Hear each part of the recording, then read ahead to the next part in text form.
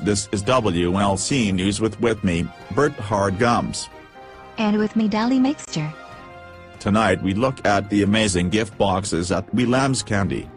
Willem's Candy are selling birthday boxes with candy from the 1960s and 1970s.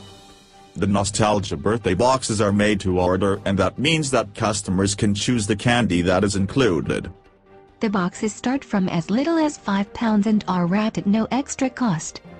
Also available are 10 pound boxes, 15 pound boxes or larger if requested. You gotta be kidding me Dolly? They all come wrapped. No Bert, it is no joke. All gift boxes come wrapped and ready to be handed over to the birthday girl, or the birthday boy. That sounds great Dolly. Are there boxes available for all ages? All ages and tastes are catered for at Willem's Candy. The best traditional old sweet shop in Scotland.